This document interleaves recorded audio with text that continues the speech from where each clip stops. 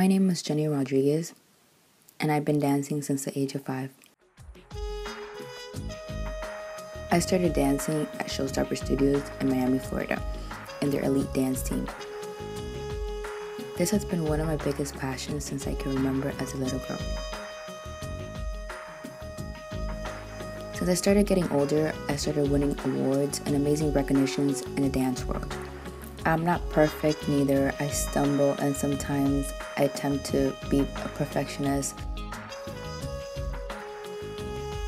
Sometimes when I dance, I can truly forget about all my problems and travel to another world